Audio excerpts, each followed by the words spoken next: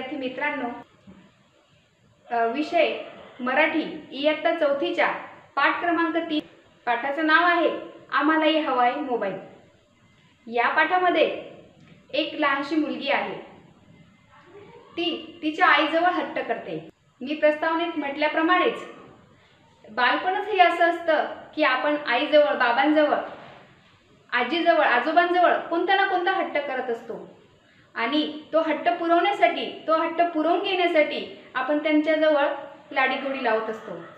म्हणून बालपण हे खूप सुरेख असतं. परंतु कधी कधी बालपणात बालवयात आपल्याला कळतही नाही की आपण कसला हट्ट करतो.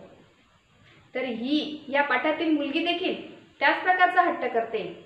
ती तिच्या आईला पुन्हा पुन्हा सांगते आई मलाही हवाय मोबाईल. आई मलाही हवाय मोबाईल. ती हेवा करते तिच्या मोठ्या ताईचा जिच्याजवळ ती कॉलेजला असल्यामुळे तिच्याजवळ फोन आहे. मोबाईल फोनचा वापर तिला करावा लागतो. आणि दादाजवळ सुद्धा फोन आहे. बाबांजवळ तर दोन दोन फोन आहेत. मग माझ्याजवळ का नाही?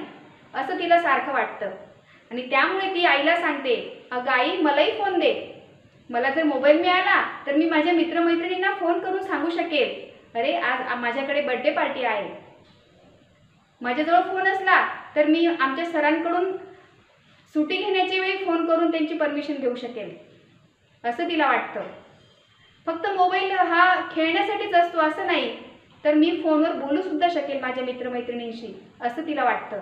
आणि ती त्यासाठीच तिच्या आईजवळ पुन्हा पुन्हा सांगते की आई तू सांग बाबांना मलाही फोन हवाय मलाही मोबाईल हवाय. आम्ही लहान असतो म्हणून काय झालं? आम्हीही मोबाईल वापर वापरू शकतो. आणि ती त्यासाठी आजीलाही सांगते की आजी तू आईला रागवू नकोस हं?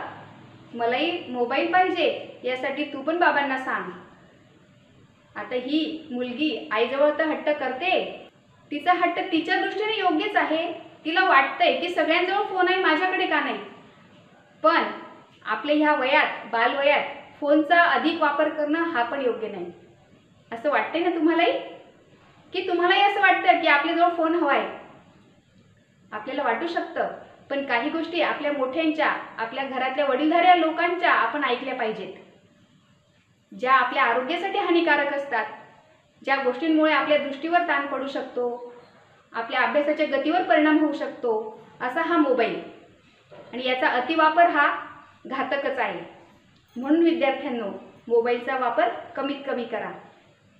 परंतु या छोट्याशा नाट्यछटेमध्ये ही जी लहान मुलगी आहे तिचे सुंदर असे संवाद इथे दिलेले आहेत.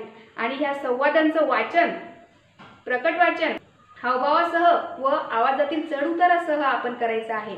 आणि अशाच प्रकारच्या नाट्यछटा तुम्ही देखील तयार करायच्या आहेत. कशाद्वारे? तर तुमच्या मनातल्या भावना अशा लहान लहान संवादांद्वारे. लहान लहान संवाद तुम्ही तयार करायचे. आणि ते संवाद बोलतानाचे लहान लहान व्हिडिओ तुम्ही पाठवायचे.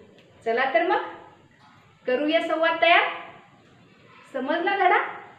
धन्यवाद.